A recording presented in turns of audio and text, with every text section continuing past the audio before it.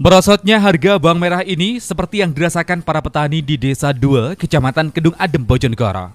Para petani setempat resah dan mengeluh akibat terus anjloknya harga bawang merah pada musim panen raya tahun ini.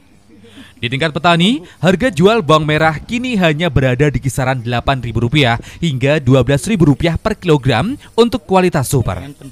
Harga ini jauh merosot dibandingkan musim panen sebelumnya yang mencapai kisaran harga Rp19.000 hingga Rp23.000 per kilogram.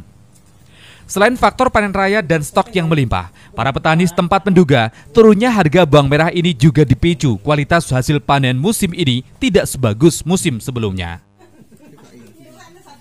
Sebenarnya sudah hampir seminggu. Hampir seminggu. Terus di pasaran gimana Pak harganya? Harganya ini agak murah nih karena banyak yang panen termasuk nganjuk, magetan dan lain sebagainya. Panen raya. Panen raya semua. Jadi harganya rada anjlok nih. Per kilo berapa Pak? Per kilo yang tanggung 8.000, ada yang super 12.000. Hmm. Pak itu untuk petani sesuai nggak Pak? Ya agak rugi Mas, oh, rugi. kurang beruntung. Hmm.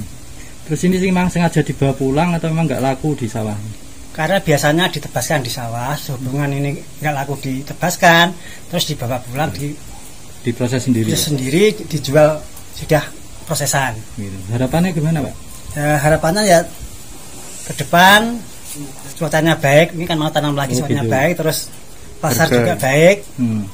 pak ya, kendalanya apa pak tanam bawang kendalanya pertama pada cuaca karena ini banyak hujan kan harusnya bawang merah itu kan 70 persen hmm. airnya nah ini kan hujan terus ini nggak terang-terang selama dua bulan Mudahnya nambah ya berarti? Eh, mudahnya tambah karena banyak fungisida. Saat ini untuk mencegah kerugian, sejumlah petani memilih tidak menjual hasil panen langsung dari sawah, melainkan lebih bersabar dengan menyimpan dan bawa pulang seluruh hasil panen untuk dikeringkan. Hal tersebut dengan harapan harga jual bawang merah kembali naik sesuai dengan yang diharapkan. Samsul Alim, JTV, Bojonegoro.